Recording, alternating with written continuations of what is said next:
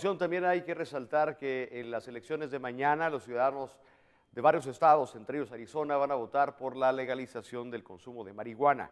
El sheriff Antonio Estrada nos eh, tiene comentarios al respecto.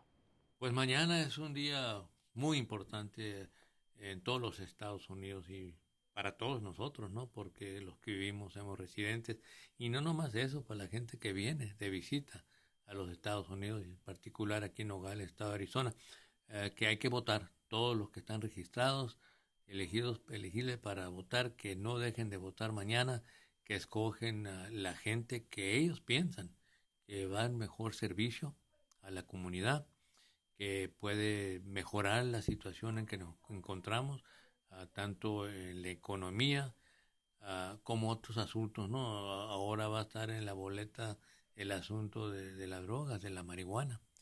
Ah, para cualquier persona de 21 años adelante, pues ahí va a tener que decidir los votantes del estado de Arizona y aquí en, el condado de Santa Cruz. Vamos a ver qué es lo que está pensando la gente sobre la marihuana, ah, si están al favor o están opuestas. a si, por ejemplo, llega a ganar al nivel estatal, pues eh, vamos a ver qué pasa, ¿no? Cómo se va a atender ese asunto.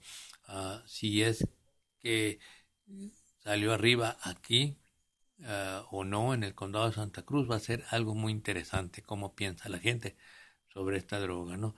y otras presupuestos ah, que van a estar en la, en la boleta como el aumento de los salarios. Uh, esa es otra cosa que también vamos a ver cómo se, se piensa aquí localmente y a nivel estatal.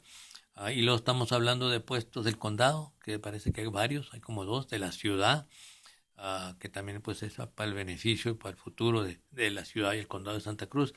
Y luego al nivel estatal y al nivel federal, obviamente y luego pues para la presidencia, ¿no? Que pues es muy, muy importante que hagamos una, escojamos a una persona que piensemos que va a prestar el mejor trabajo.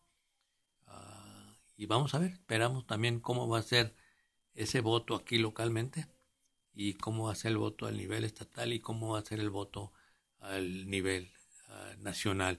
Al modo que es muy interesante, mañana muy interesante y muy importante que la gente vaya y vote, especialmente aquí en el condado de Santa Cruz, porque yo creo que queremos saber cómo piensan los votantes de aquí de este condado sobre todos los candidatos y, las proposiciones que se están poniendo. De modo que no dejen de votar mañana, vamos a estar muy al pendiente, muy interesados, uh, esperando los resultados.